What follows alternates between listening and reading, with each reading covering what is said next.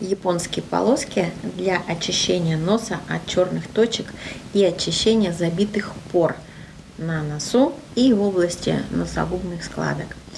А, вот такая коробочка, в ней 5 пластырей. Тут еще какой-то вот маленький подарочек для билетиков. Ну, девочкам, наверное, пригодится. А, значит, 5 таких пакетиков пластырей по отзывам из интернета, это лучшее средство из бюджетных пластырей, нацеленных на очищение пор от загрязнений. Вот, вот такой пластырь.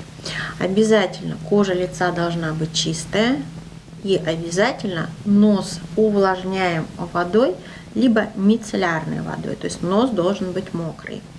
Пластырь отделяем от пластиковой прозрачной подложки и на мокрую кожу носа его налепляем, распределяем. 10-15 а секунд выдерживаем. За эти 10-15 секунд пластырь становится твердым, как гипс. То есть такая скорлупа, прямо нос в скорлупе. После чего резким движением пластырь с лица удаляем.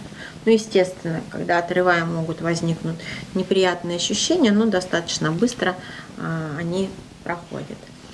На полоске вы увидите а, следы от тех выделений кожных, да, которые полоски приняли на себя. Такие полосочки можно использовать один раз в 3-4 дня. Мне эти полосочки очень нравятся.